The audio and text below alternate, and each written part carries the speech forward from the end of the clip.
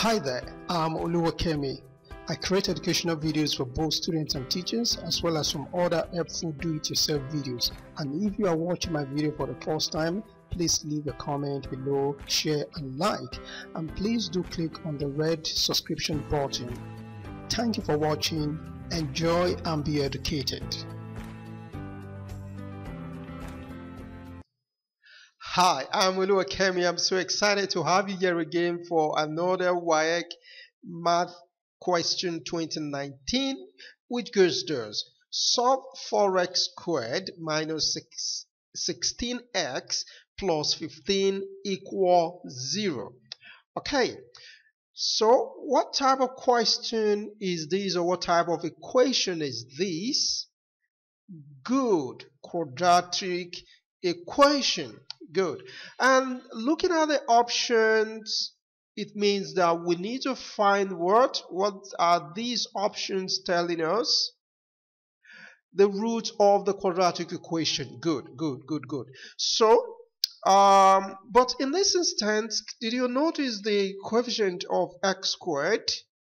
Yes so in this case, it, this may not be like just a regular quadratic equation where you just find the factor of the top term, which is 15, then you start solving. No, this is the first thing that you need to do.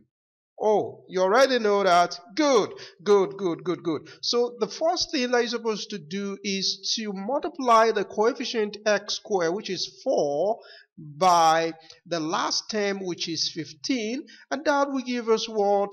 60 all right. So now you're going to find the two factors as usual um, of 60 and these two factors when plus together should be able to give us the middle term minus 16 okay. So what are the two factors? Which factors are coming into your mind Oh, good. 10 and 6. Okay, but that won't give us minus 16. Alright, good, good. Minus 10 and minus 6. Good. And as usual, you know, you already know, or if you don't know, these two factors, minus 10 and 16, is going to replace the middle term minus 16x. Okay, so we're going to bring that into the equation now.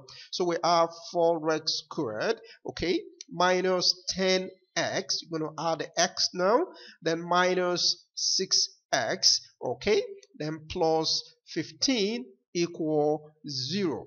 Okay, so now we can factorize. Yes, so we're now going to factorize, okay, let me just put a bracket there or just normally you're supposed to put it.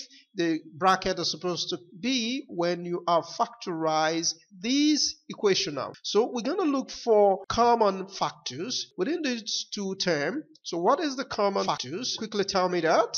What do you see? 2 okay. What what else did you see? X good. So what is now what will now be left we have okay did i say 2x okay what about the one here? We're left with minus 5 good. Then remaining two terms what is common? What is common? Can you help me out?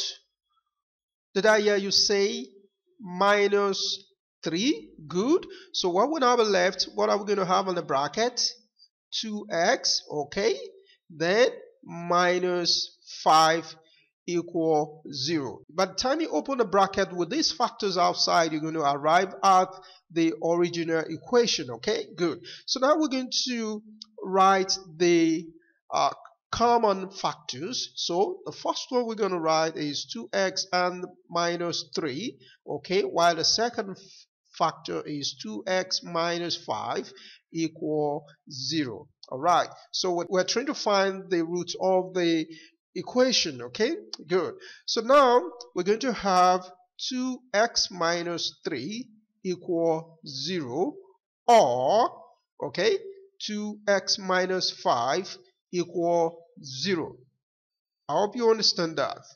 Is just saying the whole of this bracket is equal to 0 or the whole of the second bracket is equal to 0 because we're finding the root of the equation okay? Good. So if you're already familiar with this you will understand. But if not this is how it is done okay?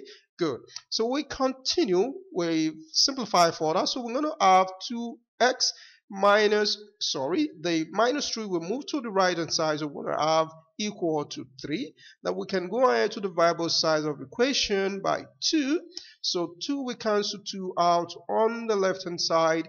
Then we're going to have 2 in 3 is going to give us one whole number 1 over 2 that's a mixed fraction okay? Good.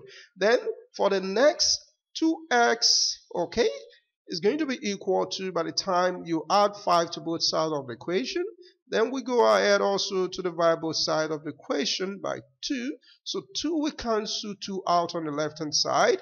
Okay so we're going to have x equal 2 in 5 we're going to have 2 whole number 1 over 2 Okay, good. So these are the roots of the equation. Let us check the answer option to see which one um, tallies with it. Answer option B is the right answer.